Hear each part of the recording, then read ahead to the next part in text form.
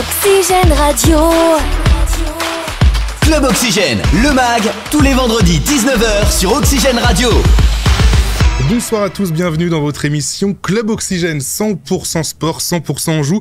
On reçoit ce soir Nicolas Mahut, directeur de l'Open P2I d'Angers, tournoi VTA, donc tournoi à féminin. Bonsoir Nicolas. Bonsoir Cyprien.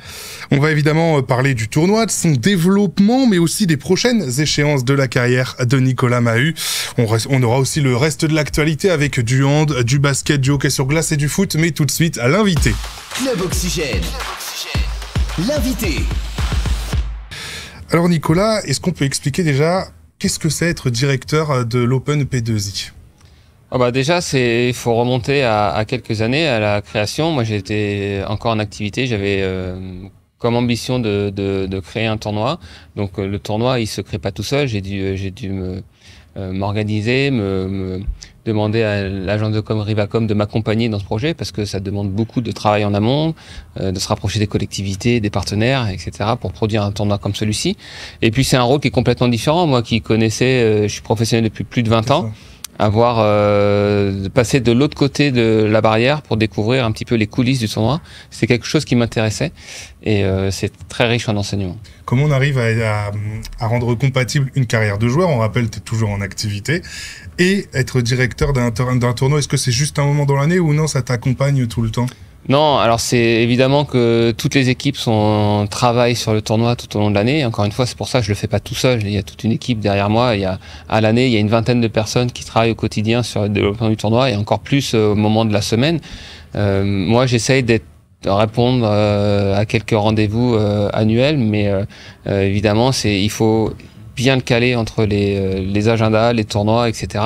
Mais vraiment, le, le, la semaine principale, c'est la semaine du tournoi où c'est très très intense. Souvent, quand on est joueur, on se focalise à fond sur sa carrière. Mais toi, ça te plaît d'avoir ce côté aussi euh, où on est plus sur un à côté, plus un côté euh, bah, directeur de, de tournoi?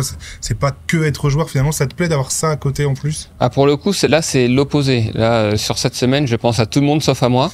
Et c'est euh, parce qu'on a envie de rendre tout le monde content. Moi, j'ai envie que les, gens du public, quand ils viennent voir l'événement, euh, soient satisfaits. Je veux que euh, les institutions qui participent activement au développement du tournoi soient satisfaites. Et puis, évidemment, les partenaires privés. Donc, euh, essayer de, de, satisfaire tout le monde, c'est euh, c'est pas évident, mais c'est un beau challenge. L'intérêt du tournoi, c'est quoi? C'est, on rappelle, c'est un tournoi féminin déjà. C'est plus révéler des joueuses, avoir des joueuses confirmées. Qu'est-ce qu'on pour toi, c'est quoi l'intérêt de, de, ce tournoi? Bah, Pour le tournoi, évidemment, euh, c'est important d'avoir des, des, des, noms pour que, pour que les gens puissent venir et venir. Cette année, je suis, je suis très heureux de, de voir Alizé Cornet, qui n'avait pas pu euh, participer aux deux premières éditions. Là, avant qu'elle qu arrête sa carrière, j'étais content qu'elle puisse venir. Et puis, c'est aussi de donner la possibilité à des jeunes joueuses qui débutent leur carrière de les inviter, de donner des, ce qu'on appelle des wildcards à des joueuses françaises qui rentrent pas avec leur classement pour, pour euh, leur donner de l'expérience et, euh, et qu'elles puissent euh, se confronter au plus haut niveau euh, le plus rapidement possible. Comment on arrive justement à ce tournoi On parlait des wildcards, les classements. C'est quoi? On, Vous, vous pouvez choisir d'inviter telle ou telle personne. Tu négocies aussi avec des joueuses? Allez, viens. Comment ça se passe? Bah, oui, donc c'est aussi pour ça qu'on a une ambassadrice, Pauline Parmentier, pour euh, promouvoir le, tournoi auprès, auprès des joueuses tout au long de l'année. Et puis, euh, oui, on a, nous, six invitations. Donc, il y a, une liste, il y a les classements. Donc, c'est les meilleurs classés qui s'inscrivent, qui rentrent dans le tableau. Mais le tournoi a aussi la possibilité d'octroyer six invitations. Donc là, c'est vraiment, nous, on décide à qui, euh, à qui on veut donner ces invitations. Donc, c'est les discussions qu'il y a entre est-ce qu'on donne à, une jeune ou est-ce qu'on donne à une moins jeune qui est sortie du euh, du tableau qui a baissé au classement, mais pour lui redonner une chance par rapport à ce qu'elle a fait dans sa carrière. C'est des petites réflexions qu'on a en amont du tournoi comme ça pour essayer d'avoir le, le, plus beau plateau sportif possible. Sur le début du tournoi, on a vu euh, une ancienne Aravan Rezaï qui était là. C'était quoi l'intérêt de l'inviter? C'est donner aussi un petit peu de cachet à ce tournoi? Alors pour le coup, il y a vraiment eu des discussions, euh, il y a eu des désaccords sur, euh, sur cette wildcard. C'est au final, c'est moi qui ai dû trancher euh, parce qu'elle a très très peu joué ces dernières années. Et, et, elle est dans un processus de, relancer sa carrière. Donc elle s'est vraiment euh, entourée d'une cellule d'entraîneurs assez proche. Elle travaille avec euh, le préparateur physique qui m'a accompagné pendant dix ans. Donc je sais le travail qu'elle effectue au quotidien. Et j'avais envie de lui donner un coup de pouce en me disant, bah voilà, si euh, maintenant personne va l'aider, ça c'est sûr, là où elle en est. J'ai pas envie d'arriver après. C'est trop facile de, de l'aider une fois qu'elle est déjà revenue finalement. Donc euh, ça me plaisait d'être d'être le premier à lui tendre la main dans voilà, dans cette nouvelle étape de sa carrière. Donc on verra où ça l'amène. Euh, pour parler du, du, tournoi, pour y revenir, euh, c'est la troisième édition. Euh, est-ce que ce tournoi, est-ce que tu as l'impression depuis que tu es arrivé, toi, euh, que ça grandit? Est-ce que tu as l'impression que ça s'est déjà développé encore plus?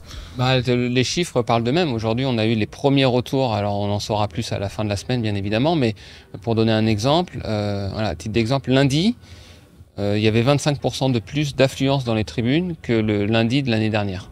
Donc c'est ça, c'est euh, voilà, ce sont les chiffres. Hein. L'espace le, VIP aussi était plus rempli.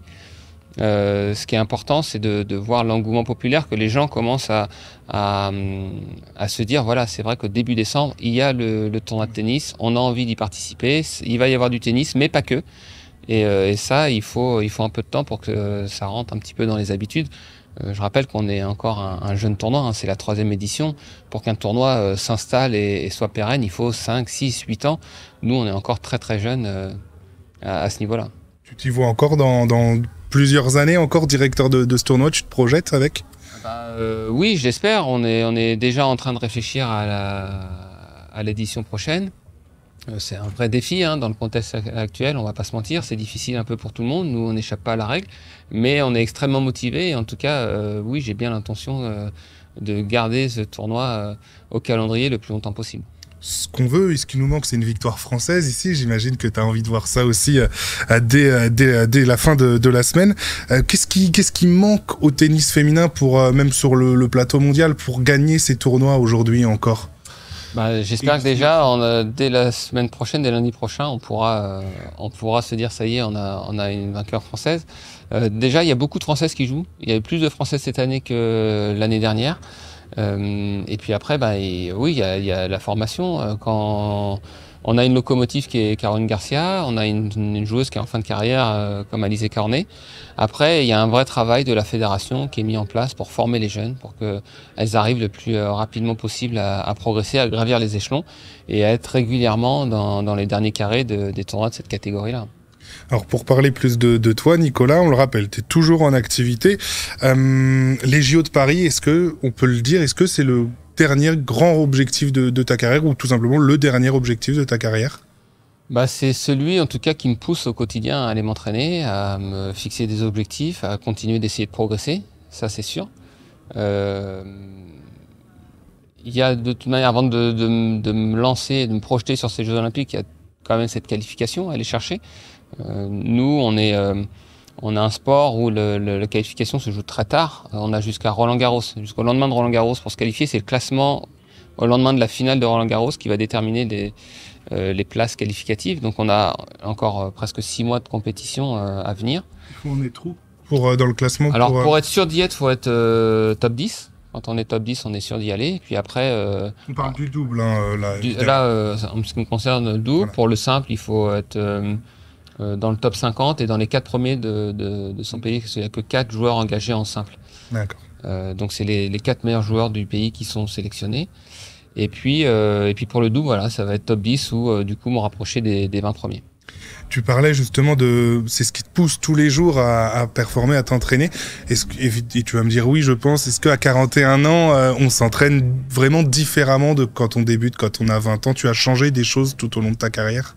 Oui, j'ai dû, j'ai dû modifier. J'ai dû aussi parfois euh, compenser le manque de quantité par une meilleure qualité, être un peu plus précis dans, dans les contenus, euh, faire attention aussi euh, à la quantité parce que parfois la, frontière elle est, elle est très fine entre vouloir mettre du volume d'entraînement pour progresser, mais en mettre trop, on bascule dans le risque de blessure et à 41, bientôt 42 ans, il faut être très vigilant à ça, être encore plus méticuleux sur, euh, sur la récupération, l'hygiène de vie, etc. Donc c'est euh, un beau challenge pour essayer de rester compétitif à, mon âge. À Paris 2024, euh, tu, si tu es qualifié, mais on n'en doute pas, tu seras avec Édouard Roger Vasselin. Avant de parler de lui, est-ce que tu peux nous, on t'a connu avec Pierre Hugerbert, est-ce que tu peux nous dire pourquoi finalement il y a ce changement de binôme? Bah, On a fait euh, pratiquement 8, 8 ans ensemble, 8 années magnifiques. Là, cette année, c'était déjà un petit peu compliqué parce que lui revenait de blessure. Il a eu une grave blessure au genou. ensuite, il a eu des, problèmes personnels. Donc, c'était une saison très difficile pour lui. Et aujourd'hui, tout simplement, on n'est plus aligné sur les mêmes objectifs. Lui, il a le sentiment d'avoir tout gagné en double. On a tout gagné pratiquement en double avec, euh, avec Pierre. Il a le sentiment de ne pas être allé au bout de ce qu'il pouvait faire en simple. Et euh, son objectif, c'est vraiment d'essayer de, revenir euh, dans les 100 premiers dans un premier temps et se rapprocher à nouveau du top 50 en simple. Et pour ça, bah, le, le calendrier n'est pas compatible avec le calendrier de double. Donc euh, aujourd'hui, moi j'avais besoin d'un partenaire fixe pour enchaîner les, matchs et le, circuit. Je pouvais pas me permettre de faire une deuxième saison comme, comme j'ai vécu cette année en essayant de chercher un nouveau partenaire à chaque fois, à chaque tournoi. Et donc euh, à partir de ce moment-là, il a fallu que euh, voilà, je me suis posé et puis naturellement mon choix s'est porté sur Edouard. Mais Edouard aussi a eu un choix difficile à faire parce qu'il a réalisé euh, la meilleure saison de sa carrière, il a gagné énormément de tournois, il est revenu dans les dix premiers avec son partenaire euh, Gonzalez. Mais euh, il a quand même fait le pari de, jouer avec moi pour essayer de, se donner le maximum de chances d'être performant pour les Jeux. C'est pas nouveau cette paire avec Edouard Roger Vasselin, vous vous connaissez. c'est pour toi le, c'était le meilleur moyen de pas perdre trop de temps aussi, de, de le connaître aussi, Edouard finalement dans cette paire? Tout n'est peut-être pas retravaillé ou oui, on a, on a certains automatismes, ça c'est évident. Après, on a des choses à améliorer euh, individuellement et en équipe pour, euh, pour pouvoir rivaliser avec euh, les tops équipes mondiales, ça on le sait. Mais on est tous les deux motivés, on a, on a tous les deux les mêmes objectifs et je suis convaincu qu'on aura la possibilité de, d'avoir des bons résultats ensemble. Pour faire une bonne paire en double, c'est quoi le secret? Est-ce que c'est juste dans le jeu ou il y a aussi quelque chose qui s'explique pas de, de sentir les choses, le feeling? Pour moi, ça c'est très important. Alors il y a d'autres équipes qui vont, qui se contentent d'être euh, bons sur le terrain avec des compatibilités de jeu. Moi, j'ai toujours euh, ressenti ce besoin d'avoir une alchimie avec mon partenaire, que ce soit sur le cours ou en dehors du cours, de partager des choses énormément. Euh, évidemment, la communication, la confiance, ça c'est des, c'est des, des, choses qui sont très très importantes pour être performant en double. Et c'est ce qu'on va essayer de développer tout au long de la saison avec Edouard. Disons qu'il faut que tu t'entendes avec ton partenaire, c'est pas simplement on entre sur le cours, on est ensemble et à la fin on se parle plus. Faut... Il y a certaines équipes qui, font, ont fonctionné, euh, qui fonctionnent ou qui ont fonctionné de cette manière-là. Moi, c'est pas mon approche du double parce qu'on passe beaucoup plus de temps en dehors du terrain que sur le terrain. C'est pour ça aussi que c'est plus facile de, de, de, partager la saison avec un joueur français dont on parle la langue. Euh, on partage plus de choses. Euh, aujourd'hui, les pères de famille, il y, a, il y, a, plein de points qui nous, qui nous rapprochent aussi. On peut parler d'autres choses que du tennis aussi. Euh, parce que voyager ensemble tout au long de l'année, bah c'est, parfois ça peut être difficile aussi. Mais là, on a la chance de, se connaître depuis plus de 20 ans, de bien s'entendre. Et, je pense que sur le long terme, sur, la saison, c'est un atout considérable. Les jeux, c'est dans euh, moins d'un an, on va dire allez six gros mois. Euh, c'est quoi les échéances à venir? C'est on ne pense qu'à ça? Quand on fait un tournoi, on, on, on, pense à se préparer au jeu ou il y a quand même l'enjeu du tournoi? Qu'est-ce que ça va être là C'est ces mois à venir? Alors, ce serait une erreur de, à mon sens, de, de fonctionner comme ça et de penser à ça. Évidemment qu'on l'a dans un coin de notre tête parce que c'est notre moteur, c'est ce qui, ce que je disais, ce qui va nous pousser à nous entraîner, à faire des efforts. Mais on a euh, dans une saison de tennis, on a des échéances très importantes. On a l'Open d'Australie qui arrive dès le mois de janvier, on a Roland Garros, on a Wimbledon, et puis encore une fois, je le rappelle, nous, euh, la qualification, elle va se jouer au lendemain de Roland Garros. Donc euh, euh il faut être performant d'ici là. On va avoir aussi des Master 1000, on va avoir Indian West, Miami, Madrid, Rome, Monte Carlo. Donc euh, énormément. On est un sport, on a beaucoup d'échéances, ce qui nous permet de rebondir rapidement après un échec. Mais voilà, pour moi euh, il va falloir être performant sur le circuit avant vraiment de, de se projeter euh, entièrement sur les Jeux Olympiques. Pour terminer sur ce double, hum, comment ça se passe au niveau du classement? Comme tu changes de partenaire, tu reviens avec Edouard Roger Vasselin, même lui change.